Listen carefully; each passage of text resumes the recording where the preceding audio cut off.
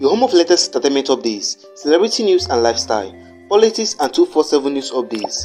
Welcome to Mr. Legit Gossiper. Omo guys no be small thing o. Una know say who God don bless, God don bless am. Who God don lift up, God don lift am up. So God don lift Pokoli up and he don use Pokoli lift him momsi up. So Pokoli bought a house worth millions of naira for his momsi.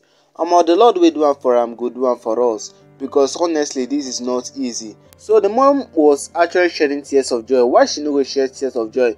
This one no be easy something. So at this her age, she's now a landlady of Lekki, not just anyhow Lagos State.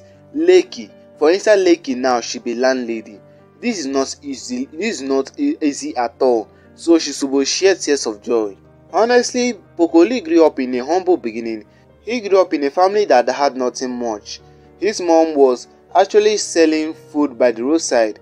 She was once selling coin um, and ube in the roadside. Later, she switched to um, bole in the roadside. She did a lot of businesses to raise money for her and her son Poco Lee. And now Poco Lee is making her proud.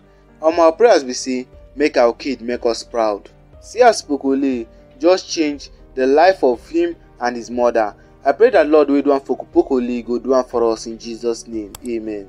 Please go on and congratulate Pokoli in the comment section.